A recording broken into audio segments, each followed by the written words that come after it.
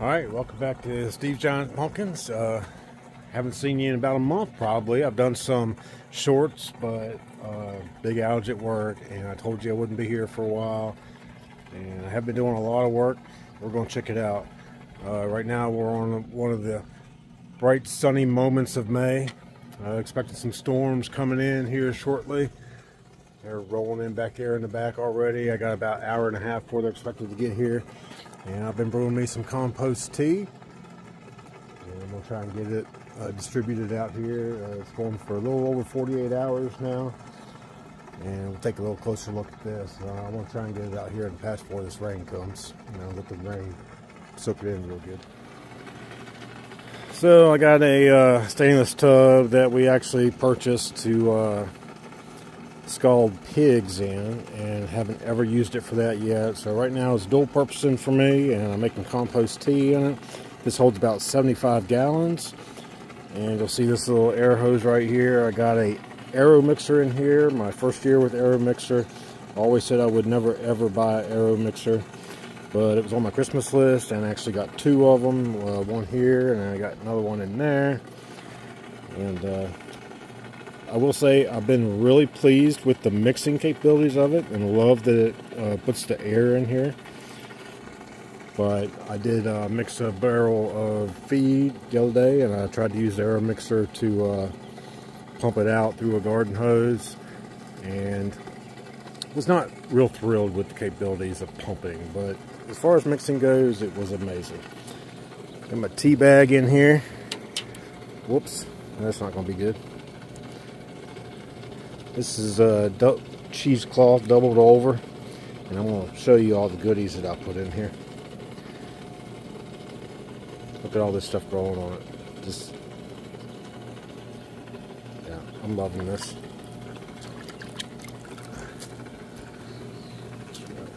So what's in the bag? I started off pretty simple again. It's two uh, cheesecloths right on top of each other and I put all the stuff in it, um, made a real nice tight ball and tied it up. I started off with the Wallace Wow Wonder Brew. I got one packages of this in there. I got enough to last me another four or five weeks. I put about a quarter cup of 5-2 Wallace Wow Wonder Blend. And about two cups of uh, earthworm castings. So this is my first time using uh, compost tea. I wanted to do it last year. We never got to that point. Uh, I'm going to use it often this year. Also put a little bit of Epic Gardening Azos and Myco Sweatable Powder and some Wallace Wow Mycorrhizal Inoculant. And uh, put all that in the bag as well. Uh, also about two cups of kelp meal. And this has been going for a little over 48 hours now.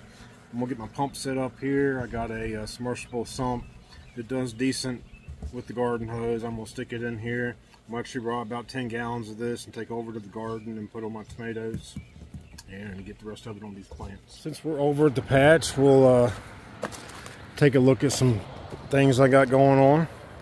This is my 150 plant and you can see here I got some weed control I need to do but I've been trying to get that done between these rainstorms. It's been an extremely wet month and hardly a dry moment. Got plenty of walk boards out through here and I've kind of got them strategically placed right now because I'm going to put my watering system in, which I have not gotten to yet. Going away from impact sprinklers this year and going to uh, 20 PSI wobblers. I gotta close this because Major likes to come in here. Alright, as I stand on the walkboard, I try to get better at walkboards this year, and I made me a whole bunch the other day out of some scrap lumber that I acquired. And I still need some more. Last year, I uh, pretty much only had a few walkboards, and they got grown over, and I found myself not really using them like they should be used. So, try and get better at that this year. But, alright, the 150, I have not uh, marked the boundary yet again, I'm trying to get these weeds out of here before I do that and uh, get everything marked off. But um, I'll get that done in the next couple days. Yeah, this is the 1631 Cashmore's what I chose for my 150 plant. And the reason I chose this, I was going to do another 872 Cashmore based on the results that I did last year with the Downy Mildew plant. But I bought this in a seed auction alongside of some other Cashmore seeds. And as soon as I won this lot, Doug messaged me and said, don't be afraid of 1631. So I'm not being afraid 1631. It is the 150 patch plant and already got a couple issues with it. Number one, you can see the leaf damage there. This thing got attacked horribly by cucumber beetles. I mean, early, right off the bat. And you can see a dead one right here. So what I was doing after I realized what was going on I made me up a little Sevin uh, concoction in here, a low dose of Sevin, and I was just uh, spraying it down like that. But I have actually started my Merit systemic um, regimen. I started that two days ago, and the next day I came out and there's dead cucumber beetles all over all my plants, all of them. So that's doing the job. I hope this thing turns around and survives that cucumber beetle onslaught. You can see here, they just obliterated this leaf. And picking off dead beetles everywhere. Well, that one's still trying to kick around.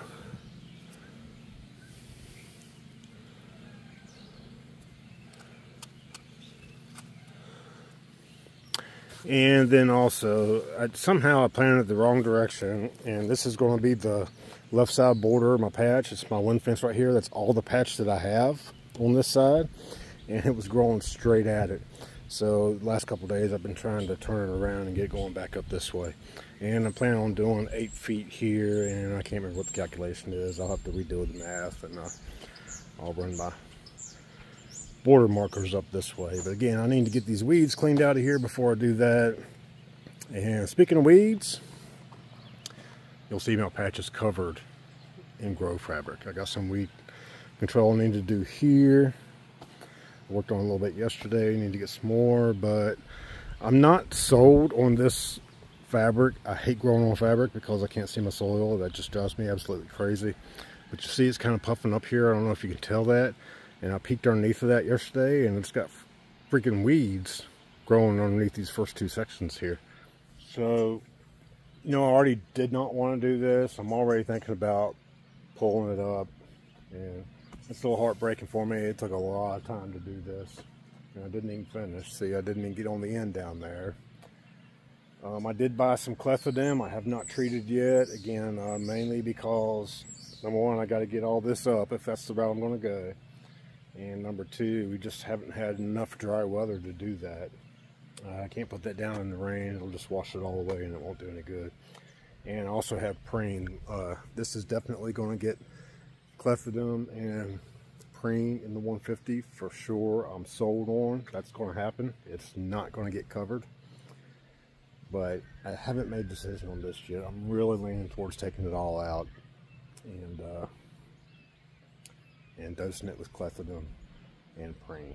I'm really worried about the clethodim uh, affecting the plants and I've talked to a few folks and they all like it and have had good results with it so I'm gonna spend a few more days thinking about that uh, get through this wet rainy weather and get here and get some of these weeds mitigated and then I'll make a decision on that in the next couple of days I'm standing right by the 1707 and a half Caspers. You see it's flagging a little bit, but I'm getting ready to take care of that. It's right at about 10 feet now. Starting to lay some secondaries and then get in here and uh, get busy on vine burying. I'm running a little bit behind on that. And over there is the 1965 and a half Rotoball. And it is, uh, yesterday it was about two feet behind uh, the Casper's plant, but now they look like they're pretty well caught up to each other.